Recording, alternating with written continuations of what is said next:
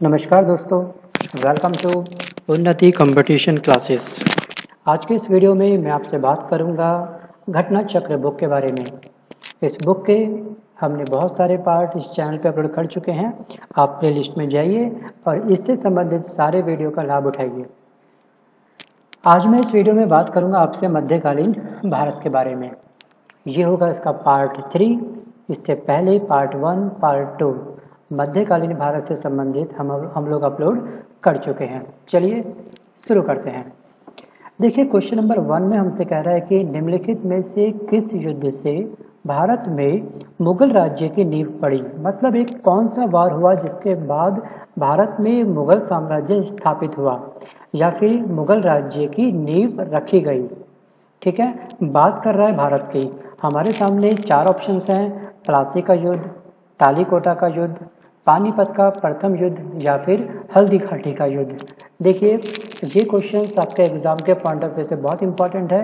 ये क्वेश्चंस आपके MTS exam 2001 में पूछा गया है। तो इसका राइट आंसर है पानीपत का प्रथम युद्ध। अब बात करते हैं कि पानीपत का प्रथम युद्ध कब हुआ था। अगर आपसे ये पूछेगा तो आपको ये डेट पेन डाउन करनी है, इसको राइट डाउन करना है, इसको लिखना है। इस वीडियो को पॉज करके इसको तुरंत अभी आपको याद करना है। तो इसकी जो डेट है, वो है 21 अप्रैल 1526 बढ़ते हैं क्वेश्चन नंबर टू की ओर। क्वेश्चन नंबर टू है हमारे सामने कि दिल्ली में मुगल साम्राज्य की नींव। निम्नलिखित में से किस लड़ाई के परिणाम स्वरूप हुई? देखिए क्या होता है एग्ज़ाम में कि वो आपसे क्वेश्चन जो पूछता है जो भी क्वेश्चन आपके सामने पुटअप करेगा तो उस केस में केवल इतना ही होगा कि वो लैंग्वेज थोड़ी सी चेंज कर देता है। ठीक है? अब क्या करेगा? जैसे कि अभी कुछ टाइम पहले हमने क्वेश्चन नंबर वन में देखा। चलिए, मैं आपको क्वेश्चन नंबर वन दिखा देता हूँ। इसमें इसने पूछा कि भारत में मुगल राज्य की नींव कैसे पड़ी कौन सी युद्ध के बाद पड़ी? और इसने तुरंत बोला दिल्ली में। देखिए, दिल्ली जो है, भारत का ही एक अंग है। तो उसने भारत का नाम ना लेते हुए इसने बात करी दिल्ली में। दिल्ली में मुगल साम्राज्य की नींव निम्नलिखित में से किस लड़ाई के परिणाम स्वरूप पड़ी? तो इसका राइट आंसर क्या होगा? पानीपत की पहली लड़ाई। और ये कब हुई थी? तुरंत आप बताइए मुझे, ये कब हुई थी? लीजिए। मैं वीडियो को अप करता हूँ। ये हुई थी 21 अप्रैल 1526 में।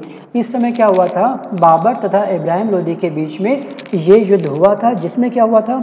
इब्राहिम लोधी की पराजय हुई थी और बाबर ने दिल्ली पर मुगल साम्राज्य की स्थापना करी थी। सबसे पहले मुगल साम्राज्य की जो स्थापना हुई थी, वो स्टेट थी दिल्ली। बढ़ते हैं क्वेश्चन नंबर थ्री की ओर। अगला क्वेश्चन है, भारत में मुगल सत्ता की स्थापना किस लड़ाई के बाद हुई? ठीक है? मुगल सत्ता की स्थापना पूछ रहा है। देखिए, थोड़ी सी लैंग्वेज इसने चेंज कर दी अगेन बात कर रहा है मुगल सत्ता, मुगल साम्राज्य मुगल साम्राज्य की नींव, मुगल साम्राज्य की स्टार्टिंग शुरुआत, कुछ भी वो बोल सकता है, लेकिन आपको याद रखना है, पानीपत की पहली लड़ाई के बाद फ़र्स्ट बैटल ऑफ़ पानीपत। ठीक है? उस समय क्या हुआ था? मुगल सत्ता की स्थापना हुई थी। क्वेश्चन नंबर फोर में हमसे कहता है कि निम्न में से किसका अपने समकालीन मुगल बादशाह के साथ मिलान गलत हुआ है, ठीक है? याद रखना, हम लोग जब एग्ज़ाम देते हैं तो एग्ज़ाम में क्या करते हैं मैक्सिमम बच्चे कंफ्यूज हो जाते हैं। तो यहाँ पे कह रहा है गलत राइट नहीं कह रहा है, गलत कह रहा है। तो गलत होगा आपका राणा सांगा बाबर के साथ, ठीक है? जुहार, जुझार सिंह, शाहजहां, जसवंत सिंह औरंगज़ेब, ये भी सही है बट रॉन्ग जो आंसर है, वो है आपका मिलान जो गलत है, वो है पृथ्वीराज चौहान का अकबर के साथ। ये जो मिलान है, ये पूरी तरह से गलत है। क्वेश्चन नंबर फाइव है कि किस मुगल शासक ने भारत की वनस्पतियों और प्राणी जगत ऋतुओं और फलों का विषाद या विशद विवरण अपनी दैनंदिन मतलब डायरी में दिया है? तो इसका राइट आंसर है Babur. Question number six Bharat में सबसे पहले तोप खाने का प्रयोग किसने करा था? जो तोप होती है, जिससे हम लोग किसी के ऊपर अटैक करते हैं, और ये जो होता है तोप एक बहुत बड़ी तबाही का एक बहुत बड़ा रीज़न होता है। तो ये किसने किया था? तोप खानों का प्रयोग किसने करा था? ये करा था बाबर ने। क्वेश्चन नंबर अगर हम सेवन की बात करें आपसे कि खानवा का युद्ध में बाबर द्वारा पराजित किए जाने वाला राजपूत या फिर राजा कौन था? या फिर आपसे ये पूछता है कि खानवा के युद्ध में बाबर ने किसको हराया था? पराजित का मतलब क्या होता है? हराना। तो इसका राइट आंसर होगा राणा सांगा। और ये खानवा का युद्ध कब हुआ था? अगर आपसे पूछे कि खानवा का युद्ध कब हुआ था तो इसका राइट आंसर क्या होगा? वो होगा 17 मार्च 1527 ईस्वी को। देखो बच्चों, मैं आपको एक बात बताना चाहता हूँ कि आप कभी भी कोई भी चीज़ स्टडी करते हैं, कोई भी चीज़ अगर आप स्टडी करते हैं, उसको सुनते हैं, देखते हैं तो अगर जो चीज़ आपको नहीं आती, उसको पेन डाउन करने का पहली बात तो आप कष्ट करें, ठीक है? उसको पेन डाउन करना है। देखिए, एक बार आपने वीडियो वॉच करा वीडियो वॉच करने के बाद में आप तुरंत इसको आपने क्लोज कर दिया। लेकिन जब तक रिविजन नहीं होगा, तब तक इस वीडियो को देखने का कोई बेनिफिट नहीं है। तो इसलिए मैं कहूँगा आपसे, या तो इस वीडियो को दो से तीन बार वॉच करिए, तब आपको मैक्सिमम परसेंट आपको याद आएगा। अगर आप केवल एक बार वॉच करते हैं तो दूसरी बार भी इस वीडियो को वॉच करिए और दूसरी बार अपने नोट्स खुद बनाइए, ठीक है? जैसे आपने देखा कुछ टाइम पहले मुगल सत्ता की स्थापना किस वॉर के बाद हुई तो आपको ये लिखना चाहिए, ये वॉर कब हुआ था, ये पता होना चाहिए, आपको ये वॉर किस किस के बीच में हुआ था और किस वॉर के बाद में मुगल सत्ता की स्थापना हुई थी। तो बेसिक अपने शॉर्ट नोट्स बनाते चले जाइए, ये आपके लिए काफ़ी यूजफुल होगा। बढ़ते हैं क्वेश्चन नंबर एट की ओर। अब बात करते हैं बाबर की डेथ के बारे में, बाबर की मृत्यु कहाँ हुई थी, कब हुई थी, इसके बारे में। देखिए बाबर की जो डेथ हुई थी, वो हुई थी आगरा में, ठीक है? आप याद रखिएगा, बाबर की जो डेथ हुई थी, वो कहाँ पे हुई थी? आगरा में। और ये कब हुई थी? आपसे बात करें तो 26 दिसंबर 1530 ईस्वी को आगरा में हुई थी। प्रारंभ में उसे नूर अफगान मतलब जो आज का है, आपका आराम बाग में दफनाया गया था। परंतु बाद में उसे काबुल में उसी के द्वारा चुने गए स्थान पर दफनाया गया था। ये उसकी मंशा थी कि फ़िलहाल उसको, फ़िलहाल क्या उसको हमेशा के लिए उसको काबुल में दफनाया जाए। बट कंडीशंस कुछ ऐसी थी कि बाबर की मृत्यु के बाद में कुछ जल्दबाजी इतनी ज़्यादा हुई कि फ़िलहाल उसको दफनाया गया। नूर अफगान में जो है राइट नाउ वर्तमान में पड़ता है आराम बाग में। दोबारा उसकी बॉडी को निकाला गया, उस स्थान से उसको शिफ्ट करा गया कहाँ पर? काबुल में। तो आप याद रखिएगा, काबुल काफ़ी फ़ेमस जगह है और 26 दिसंबर 1530 को ये हुआ। क्या हुआ? बाबर की डेथ बढ़ते हैं क्वेश्चन नंबर नाइन की ओर कि हिमायू नामा की रचना किसने करी थी? बात करते हैं हिमायू नामा की रचना किसने करी थी? एक्चुअली ये इसकी कज़न थी। हिमायू की ये कज़न थी जिसका नाम था गुलबदन बेगम। उसने इसकी रचना करी थी। और ये क्वेश्चन एग्ज़ाम में कई बार पूछता है। ये आप देख रहे हैं सामने कि ये एमटीएस एग्ज़ाम में पूछा गया है। उसके बाद में आप, आपका आने वाला जो सीजल का एग्ज़ाम है ये वहाँ पर भी क्वेश्चन कई बार पूछा गया है। यहाँ पे दिखाया नहीं गया लेकिन ये आपके एग्ज़ाम के पॉइंट ऑफ़ व्यू से बहुत इंपॉर्टेंट है। ठीक है? बढ़ते हैं क्वेश्चन नंबर टेन की ओर फ़िलहाल। दिल्ली में पुराना किला का निर्माण किस शासक के शासनकाल में हुआ था? याद रखिएगा, बात कर रहा है दिल्ली की। दिल्ली में पुराना किला का निर्माण किस शासक के शासनकाल में हुआ था? तो इसका राइट आंसर होगा हुमायूं, ठीक है? और ये कब हुआ था? बात करते हैं इसका निर्माण कब हुआ था? हुमायूं के द्वारा हुआ था, ये तो सही है, लेकिन बात करेगा आपसे कब से कब तक हुआ था? तो 1533 से 1538 के बीच में जो बच्चे स्टेट पीसीएस की तैयारी कर रहे हैं, प्रीलिम्स एग्ज़ाम में ये क्वेश्चंस कई बार पूछा गया है। यूपी पीएससी का एग्ज़ाम आपका होने वाला है तो जो जुलाई में है, डेट अभी इसकी डिक्लेयर नहीं हो पाई है, लेकिन फिर भी मैं उनसे कहना चाहूँगा, इसको आप बड़े ध्यान से सुनिए, समझिए और इसको याद करिए, ठीक है? बढ़ते हैं क्वेश्चन नंबर इलेवन की ओर। आई होप आपको ये वीडियो समझ में आ रहा होगा, डिस्प्ले बिल्कुल साफ़ होगा क्वेश्चन नंबर इलेवन हमसे कहता है कि हुमायूं को किस लड़ाई में पराजय के बाद भारत से भागना पड़ा? भारत से उसे नौ दो ग्यारह होना पड़ा, ठीक है? कौन सी लड़ाई के बाद? खानवा के युद्ध के बाद, कन्नौज के युद्ध के बाद, पानीपत के युद्ध के बाद, या फिर गोगरा के युद्ध के बाद? तो इसका राइट आंसर होगा आपके सामने बी कन्नौज। जी हाँ प्यारे बच्चों, कन्नौज का जो युद्ध हुआ था, वो कब हुआ था? ये डेट आप लिख लीजिए। ये डेट है 17 मई 1540 को। और इस युद्ध में शेर शाह ने हुमायूं को पराजित कर सिंहासन पर कब्जा स्थापित करा। ठीक है? किसने किसको हराया? ये याद रखिएगा, ये जो वॉर हुआ, ये हुआ शेर शाह वर्सेज हुमायूं के बीच में। कब हुआ था? 17 मई 1540 को। कौन से युद्ध की बात कर रहा हूँ मैं आपसे? मैं आपसे बात कर रहा हूँ कन्नौज के युद्ध के बारे में। चलिए बढ़ते हैं अगले क्वेश्चन की ओर। Question number twelve question number twelve हमसे कह रहा है कि कलानौर में राज्यभिषेक के समय अकबर की आयु कितनी थी? अकबर की आयु एक्चुअली उस समय कितनी थी, वो हमसे पूछ रहा है। मतलब जब इसका राज्यभिषेक हुआ, राज्य तिलक हुआ, जब इसको राजा बनाया गया। देखिए, तेरह वर्ष इसकी उम्र थी, सबसे छोटी उम्र में राज्यभिषेक किसका हुआ? कभी कभी आपसे एग्ज़ाम में ये क्वेश्चन भी पूछ लेता है तो इस समय राइट आंसर आपका होगा अकबर। और ये उम्र इसकी क्या थी? इसकी उम्र थी तेरह वर्ष, ठीक है? थर्टीन ईयर इतनी छोटी सी उम्र में इसका राज्यभिषेक हो गया, इसको राज्य के बारे में जानकारी नहीं थी, युद्ध के बारे में इसको ज़्यादा ज्ञान नहीं था, फिर भी वंश के हिसाब से, वंशज के हिसाब से राज्यभिषेक इसका ही होना था और राज्यभिषेक इसका ही हुआ, अकबर का ही हुआ और मात्र कितने वर्ष में? तेरह वर्ष में। वास्तविक इसकी उम्र आपसे अगर पूछे तो इसकी जो, उस समय रियल इमेज रियल जो इसकी एज थी, जिस समय इसके माथे पर तिलक लगा था और इसके सर पर जो एक राजा का जो मुकुट होता है, वो रखा गया था। वो उम्र थी तेरह वर्ष चार साल, ठीक है? इतनी कम उम्र में इसको राजा बनाया गया था अकबर को। बढ़ते हैं क्वेश्चन नंबर थर्टीन की ओर। सती प्रथा को निरुत्साहित करने वाला मुगल सम्राट कौन था? ये था अकबर। क्वेश्चन नंबर 14 अकबर के शासन में महाभारत का पार्सियन भाषा में अनुवाद किया गया था। वह किस नाम से जाना जाता है? देखिए, अकबर के शासन काल में महाभारत का एक पार्सियन लैंग्वेज में इसका अनुवाद हुआ ट्रांसलेट हुआ, ठीक है? अब ट्रांसलेट होने के बाद में इसका नाम चेंज कर दिया, ठीक है? ट्रांसलेट होने के बाद में मतलब महाभारत का जब पार्सियन भाषा में जब ये ट्रांसलेट हुआ, तब इसको एक नाम दिया गया, वो नाम क्या था? याद रखिएगा इस क्वेश्चन को। इस क्वेश्चन को वीडियो को पॉज करिए तुरंत और ध्यान से इस वीडियो को अपने मन में कम से कम चार से पाँच बार इसको दोहराइए और अपने आप से कमिटमेंट करिए कि हाँ ये क्वेश्चन मुझे अभी तुरंत याद करना है, इसको मुझे स्किप नहीं करना है। ठीक है? देखिए इसका जो नाम था, वो था रजम नामा। रजम नामा। थोड़ा सा इसके डिटेल के बारे में मैं आपको बताना चाहूँगा कि अकबर के आदेश से भारत के विभिन्न भागों का फारसी में रजमनामा नाम से अनुवाद अब्दुल कादिर बदायूनी, नकीब खां फैजी, अबुल फजल तथा शेख सुल्तान ने किया था। ये काफ़ी लोगों ने मिलकर इसकी रचना करी थी, क्योंकि देखिए, महाभारत का पुराण जो है बहुत लंबा है, बहुत बड़ा है। अगर आप महाभारत पढ़ने बैठते हैं तो काफ़ी साल आपको लग जाते हैं और उसके बाद में ये ढंग से ख़त्म हो पाती है। तो इसका ट्रांसलेट करना इतना इजी काम नहीं था तो इसका जो ट्रांसलेट करा, काफ़ी सारे लोगों ने मिलकर करा, ठीक है?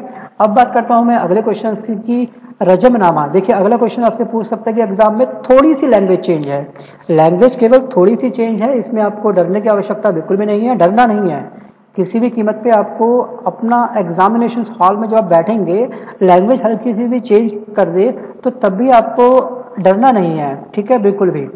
बस थोड़ा सा अपने अंदर संयम पेशेंस बना के रखिए देखिए, जैसे आप क्वेश्चन नंबर फिफ्टीन में हमसे कह रहे कि रजमनामा निम्नलिखित में से किसका फारसी अनुवाद है?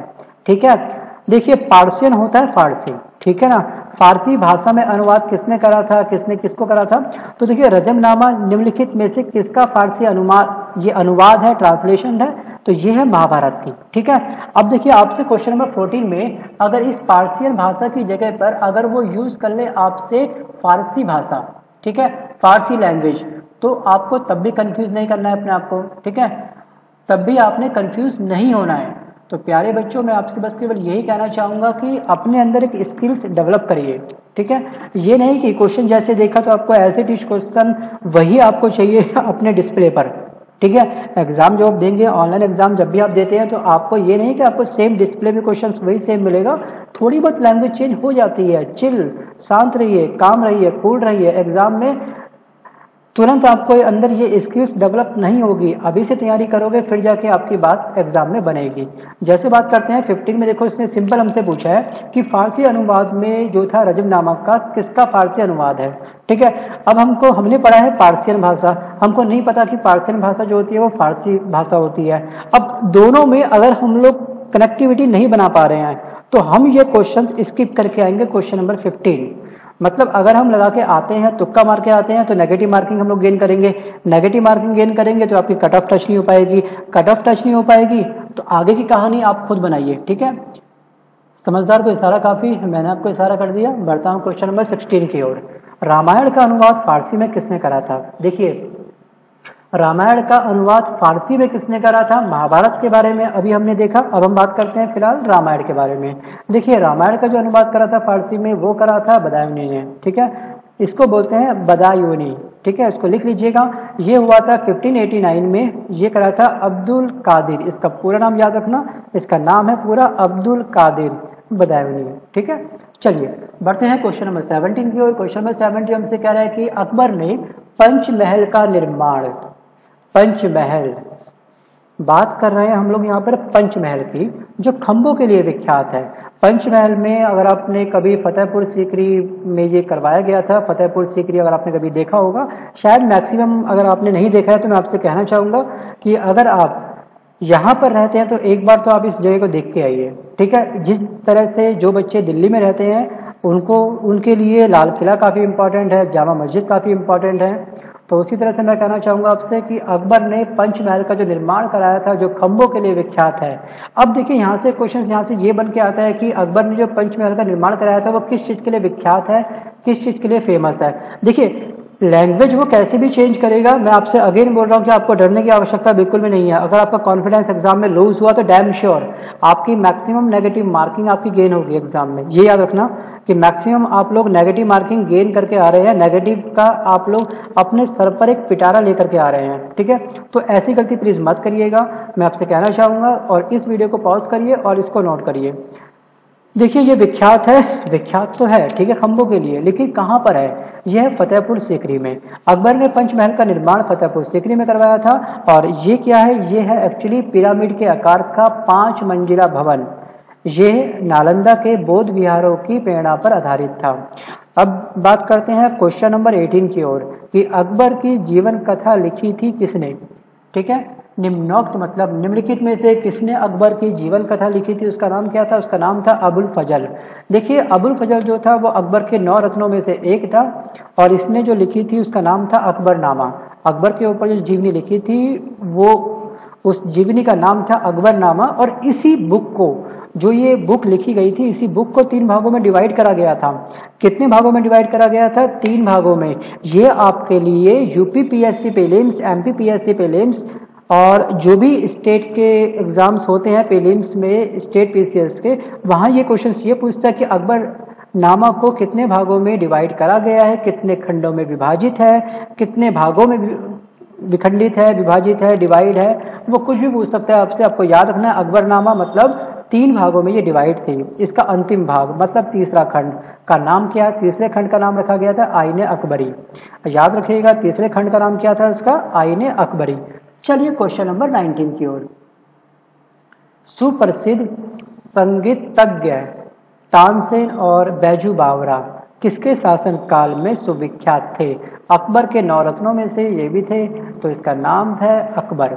Question number twenty question number twenty है आपके सामने कि अपने काल का महान संगीतज्ञ तानसेन किसके दरबार में था? देखिए, ऊपर वाले क्वेश्चंस को आप जरा पढ़िए एक बार। इसने बोला कि तानसेन और बैजू बावरा किसके शासन काल में सुविख्यात थे? जिसके काल में सुविख्यात थे तो उसी के काल में उन्होंने काम करा होगा। उसी के मतलब दरबार में उन्होंने अपनी सेवा दी होगी। अगर 19 का आंसर अगर सी अकबर था तो 20 का आंसर क्या ए होगा? जहांगीर होगा। नहीं ना? तो कॉमन सी बात है तो यहाँ पे राइट आंसर आपका क्या होगा? अकबर बढ़ते हैं क्वेश्चन नंबर ट्वेंटी वन की ओर। क्वेश्चन नंबर ट्वेंटी वन हमारे सामने है कि वह प्रसिद्ध जैन विद्यान कौन है? जैन विद्वान कौन है? जिसका अकबर बहुत ही सम्मान करता था, बहुत ही रेस्पेक्ट करता था अकबर। देखिए, अब देखिए यहाँ पे क्या होगा? अकबर बीरबल। ठीक है? अकबर बीरबल। लेकिन यहाँ पे क्या है, अकबर मैक्सिमम जो रेस्पेक्ट करता था, वो करता था बीरबल का। दोनों के बीच में छत्तीस का आंकड़ा था, दोनों एक दूसरे के काफ़ी मतलब वेल विशर थे, दोनों एक दूसरे के रेस्पेक्ट करते थे बट कहीं ना कहीं अकबर की अगर आप स्टोरी पढ़ते हैं तो वहाँ आप देखिएगा कि अकबर मैक्सिमम बीरबल को कहीं ना कहीं उसकी परीक्षा लेता था। उसके मन में कहीं ना कहीं ये था कि मैं किसी भी तरीके से बीरबल से जीत सकूँ। लेकिन लास्ट में क्या होता था, वो सभी आप जानते होंगे, अगर आपने कॉमिक्स वगैरह पढ़ी होगी तो वहाँ पे इनकी स्टोरी आपको छल जाएगा पता। तो फ़िलहाल तो देखो, यहाँ बात कर रहा है कि अगर इसने बीरबल का नाम नहीं दिया है, ठीक है तो ऑप्शन में आपके सामने बीरबल का नाम वो कभी भी नहीं देगा। याद रखिएगा, कोई भी क्वेश्चन पूछेगा, किसी भी क्वेश्चन में बीरबल से संबंधित कोई भी आपके एग्ज़ाम में क्वेश्चन वो नहीं पूछेगा। रीजन क्या है? क्योंकि अब तक का रिकॉर्ड एसएससी डिपार्टमेंट का यही है कि वो क्वेश्चन नहीं पूछता है, ठीक है? फ़िलहाल देखिए, यहाँ पे उसने बात करी है हमसे कि हेमचंद्र हरि विजय वस्तुपाल और भद्रबाहु, ठीक है? यहाँ पे जो राइट आंसर होगा, वो होगा हरि विजय चलिए बढ़ते हैं। हरि विजय सूरी को अकबर द्वारा जगत गुरु की उपाधि दी गई थी। अब देखिए क्वेश्चन यहाँ से एक ये बनता है कि किसको जगत गुरु की उपाधि दी थी? अकबर ने, ठीक है? अकबर ने किसको जगत गुरु की उपाधि दी थी, उसका नाम बताइए। अगेन आपके सामने चार ऑप्शन होंगे। तो आपको राइट आंसर चूज़ करना है हरि विजय कहीं से भी कोई भी मौका मिले ना, छोड़ो मत। अगर आपको लग रहा है ना कि क्वेश्चन यहाँ से बन सकता है, मैं नया क्वेश्चन डिज़ाइन कर सकता हूँ, नया क्वेश्चन बना सकता हूँ माइंड में, अगर ये स्किल्स जिस दिन आपके अंदर डेवलप हो गई तो आई एम डैम श्योर कि आपका सिलेक्शन पक्का है। ठीक है? अगर एग्ज़ाम में आपकी जीएस पूछी जाती है तो आपका सिलेक्शन पक्का है उसमें। अब बढ़ता हूँ क्वेश्चन नंबर ट्वेंटी टू की ओर। दीन इलाही। दीन इलाही बनाने का मूल उद्देश्य क्या था? जो दीन इलाही जो बनाया गया था, उसका मूल जो एम था, इसका बेसिक एम क्या था?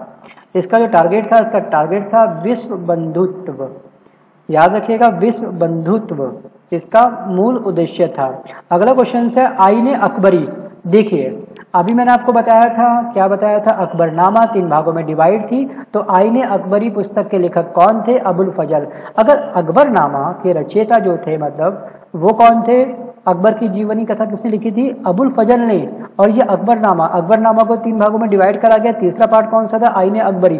तो कॉमन सी बात है, आईने अकबरी अकबरी किसने लिखा था? ये लिखा था आपका अबुल फजल ने। आप देख रहे हैं क्वेश्चन नंबर 18 मैं बात कर रहा हूँ 18 को इस क्वेश्चन नंबर 23 से रिलेट करो कनेक्ट करो। थोड़ा सा इस वीडियो को पॉज करो और पढ़ो। आपको ये क्वेश्चन क्लियर हो जाएगा कि मैं क्या कहना चाहता हूँ और आप क्या समझ रहे हैं। ठीक है? बढ़ते हैं क्वेश्चन नंबर 24 की ओर। अकबरनामा बिल्कुल नहीं बताऊँगा आपको मैं इसका राइट आंसर क्या है। ठीक है? अकबर अकबरनामा पीछे अभी हुआ है, कुछ टाइम पहले क्वेश्चन नंबर 18 में, अब 24 में अगेन आ गया। ठीक है? देखिए, जो भी इस बुक में क्वेश्चंस रिपीट हो रहे हैं, ध्यान रखना, जो भी इस क्वेश्चंस इस वीडियो में रिपीट हो रहे हैं, इस बुक में रिपीट हो रहे हैं, उस क्वेश्चन की प्रायोरिटी बहुत ज़्यादा है। देखिए, वो क्वेश्चन इससे कनेक्ट मैं इसलिए करना चाह रहा हूँ क्योंकि आपको जल्द से जल्द याद हो सके। ठीक है? क्वेश्चन नंबर ट्वेंटी फाइव है आपके सामने की, हल्दी घाटी की लड़ाई जो वॉर हुआ था, किन के बीच हुआ था? ये हुआ था अकबर और राणा प्रताप सिंह के बीच में। क्वेश्चन नंबर और हाँ चलिए बात करता हूँ कि मैं हल्दी घाटी कब हुआ था? ये वॉर हुआ था, ये कब हुआ था? ग्रीन पेन से मैंने हाईलाइट कर रखा है। ये हुआ था आपका 1576 में मेवाड़ के शासक राणा प्रताप और अकबर की सेनाओं के मध्य ठीक है? हल्दी घाटी का युद्ध कब हुआ था, ये आप याद रखिए। 1576 में और किस किस के बीच में हुआ था? राणा प्रताप और अकबर सेनाओं के बीच में। बढ़ते हैं क्वेश्चन नंबर 26 की ओर कि गुजरात विजय की यादगार में, याद स्वरूप में अकबर ने निम्नलिखित में से किसका निर्माण कराया? उसका निर्माण कराया था, उसका राइट आंसर था, बुलंद दरवाज़ा। क्वेश्चन नंबर ट्वेंटी सेवन है कि किस पर अकबर की विजय होने की स्मृति में बुलंद दरवाजे का निर्माण किया गया था? इसका राइट आंसर है Gujarat. Question number twenty eight है, मुगल प्रशासन व्यवस्था में मनसबदारी प्रणाली को किसने प्रारंभ किया था? ये करा था अकबर ने। अब बात करते हैं हम लोग की मनसबदारी प्रथा एक्चुअली क्या होती है? मनसबदारी प्रणाली एक्चुअली होती क्या है? नाम तो हमने बहुत सुना है। ठीक है, किसने प्रारंभ करा था? अकबर ने। अकबर ने प्रारंभ करा था और लेकिन ये आखिरकार ये है क्या? बहुत सुना है हमने, ठीक है? तो बताता हूँ मैं आपको, इस प्रथा के अंतर्गत एक्चुअली क्या होता है कि उन व्यक्ति को सम्राट द्वारा एक पद प्रदान करा जाता है, जो क्या करते हैं? जो शाही सेना में होते हैं। जैसे अकबर था, अकबर की एक सेना थी तो उस सेना में जो भी मेंबर बनेंगे तो उनको एक पद दिया जाएगा, जिसको बोलते हैं मनसब। ये एक पद था, ठीक है? और जो इसको ग्रहण करने वाले को हम क्या बोलेंगे? जैसे कि एक पद था मनसब, एक डेजिग्नेशन थी, एक पोस्ट थी, उस पोस्ट में जो व्यक्ति बैठेगा उसको बोलते हैं मनसबदार, ठीक है? अकबर की मनसबदारी व्यवस्था मंगोल नेता चंगेज खां की दशमलव प्रणाली पर आधारित है। अब यहाँ से एक क्वेश्चन बनता है आपका यूपी यूपी प्रीलिम्स वाले एग्ज़ाम में यूपीपीएससी एग्ज़ाम में, कि मनसबदारी जो प्रथा थी, वो किसकी कार्बन कॉपी है, किसकी नकल है? इस तरह से आपसे एग्ज़ाम में पूछता है तो आपको याद रखना है, मंगोल नेता चंगेज खां की दशमलव प्रणाली पर आधारित ये थी। क्या? मनसबदारी। क्वेश्चन नंबर ट्वेंटी नाइन है, मनसबदारी जो प्रणाली थी, उसको किसने आरंभ करा था, प्रारंभ करा था, ये करा था अकबर ने। बढ़ते हैं क्वेश्चन नंबर थर्टी की ओर। क्वेश्चन नंबर थर्टी हमारे सामने इस वीडियो का लास्ट क्वेश्चन है कि किसने मनसबदारी व्यवस्था का सूत्रपात किया था? इसका राइट आंसर होगा अकबर।